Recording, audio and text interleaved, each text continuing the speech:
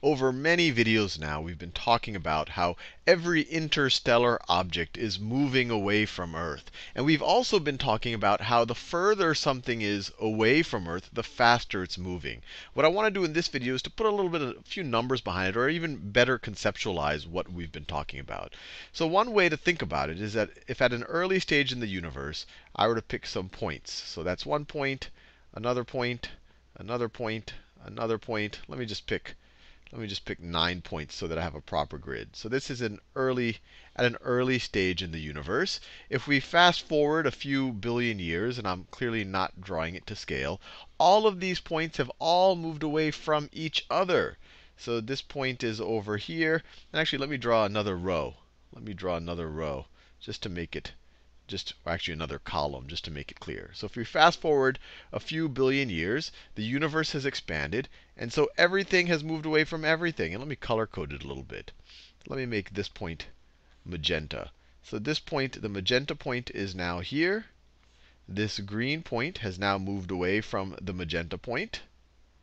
And now this blue point has now moved away from the magenta point in that direction. And we could keep going. This yellow point is maybe over here now. I think you get the general idea.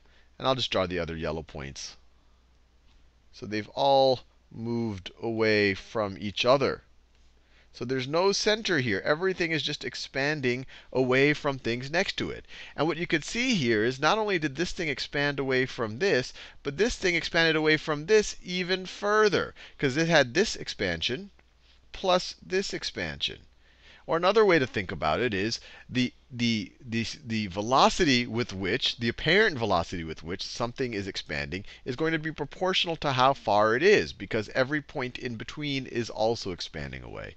And just to review a little bit of the visualization of this, one way to think of this, if you think of the universe as an infinite flat sheet, you could imagine that we're just taking a sheet of, I don't know, some, some type of sheet of stretching material and just stretching it out we're just stretching it out. That's if we kind of imagine a more infinite universe that just goes off in every direction. We're just stretching that infinite sheet out. So it has no boundaries, but we're still stretching it out.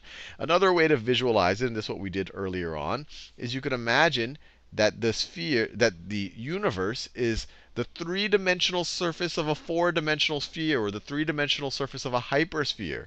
So at an early stage in the universe, the sphere looked like this the sphere look like this.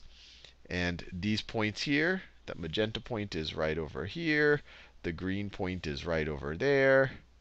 Then we had the blue point up here. And then let me just draw the rest of the yellow points. And the yellow points are here. They're all on the surface of this sphere. They're all on the surface of the sphere. Obviously, I'm only dealing with two dimensions right now. And it's nearly impossible, or maybe impossible, to imagine a three-dimensional surface of a four-dimensional sphere. But the analogy holds. If this is the surface of a balloon, or the surface of a bubble, if the bubble were to expand, so if the bubble were to expand over a few billion years, and uh, once again, not drawn to scale, so now we have a bigger bubble here.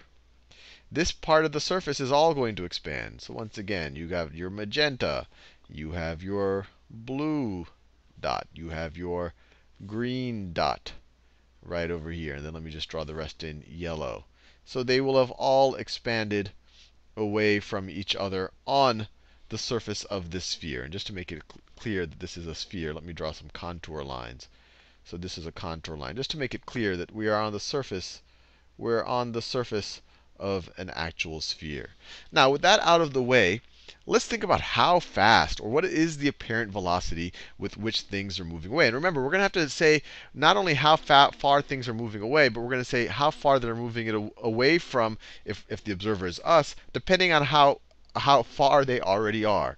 So what we're going to do, what we could say is, so let me write this down. All objects, all objects moving away from each other, away from each other. And the velocity and the apparent velocity, the apparent, the apparent relative velocity, relative velocity is proportional, is proportional to distance. proportional to a distance. And what I've just written down here, and this is why I wrote it down, this is a rephrasing of essentially Hubble's law. Hubble's Hubble's law. And he came up with this by just observing that when he looks, especially the further out he looks, the more redshifted objects are. And not only were they moving faster and faster away from Earth, but they were they seemed to be moving faster and faster away from each other. So this is just a restating of Hubble's law. Or another way to say it is from any point, let's say from the Earth, the velocity that something appears to be moving is going to be some constant, is going to be some constant times the distance, times the distance that it is away from the observer. In this case, we are the observer. And we put this little zero, so this h here, this h here is called Hubble's constant. Hubble's Hubble's constant. And it's a very non-constant constant because this constant will change depending on where we are in the evolution of the universe. So we put this little zero here, this little sub-zero right over here, to show that this is Hubble's constant right now. And when we talk about distance, we're talking about the proper distance right now. Proper distance now. And this has to be very important because that proper distance is constantly changing as the universe expands. So, you know, the, the now will actually change slightly from the beginning of this video to the end of this video. But we can roughly say in, in kind of our current period of time. And when we say proper distance, we're talking about if you actually had rulers and if you were to just lay them down instantaneously. Obviously, we can't do something like that, but we can imagine doing something like that. So that's what we're talking about. And so just, just to give a sense of or do a little bit of math of how fast things are actually moving apart, the current Hubble constant, the current Hubble constant is, let me actually write it where someplace where I have more space. The current Hubble constant, the current Hubble constant is 70.6 plus or minus plus or minus 3.1. So we have observed some variation here. There is, I guess, some error to our actual measurements kilometers, kilometers per second per per megaparsec, per mega megaparsec. And remember, a parsec is roughly 3.2, 3.3 light years. So another way to think about it is if this is where we are in the universe right now, and if this is if this object right over here, if this distance right over here is 1 megaparsec. So 1 million parsecs, or 3.26 million light years from Earth. So this is roughly, so just so we have a sense, this is 3.26, roughly,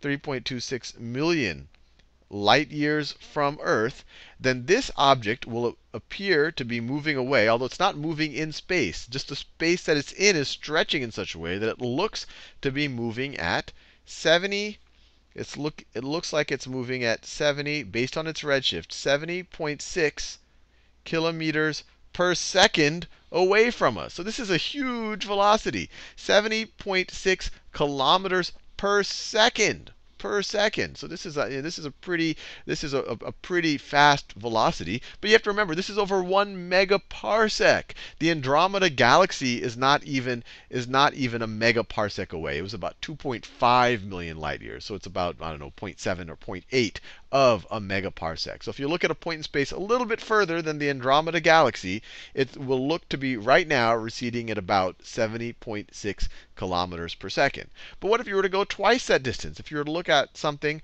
that's almost 7 light years away, 2 megaparsecs away.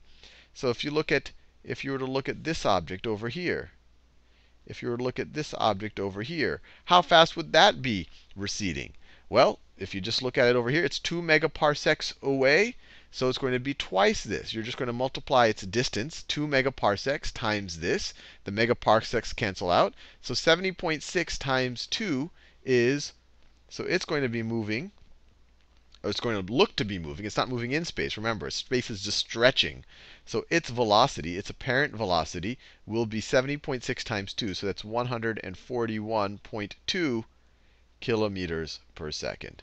And this is you you know one question you say, well, how did Hubble know? You know, it's easy to you could observe the redshift of objects moving away from us, but how did he know that they were moving away from each other? Well, if you were to look at the redshift of this object and say, wow, that's moving away at 70.6 kilometers per second, and then you were to look at the redshift of this and say, wow, that's moving away from us at 141.2 kilometers per second, then you also know that these two objects are moving away from each other at 70.6 kilometers per second. And we could keep doing this over different distances, but this hopefully this gives you a little bit uh, a more uh, a little bit bigger sense of things. And just remember, even though I said this is a huge distance, a megaparsec is further than it is to the Andromeda galaxy. The Andromeda galaxy is the nearest large galaxy to us. There are some smaller galaxies that are closer to us that are kind of satellite galaxies around the Milky Way, but the Andromeda is the largest galaxy is a, is the nearest large galaxy to us. And we also know that we're talking about hundreds hundreds of billions of galaxies in just the observable, just the observable unit universe. So very quickly, as you go near the edge of the observable universe, these these velocities, the, the, the apparent distance at which things move, are moving away from us, start to become pretty, pretty significant.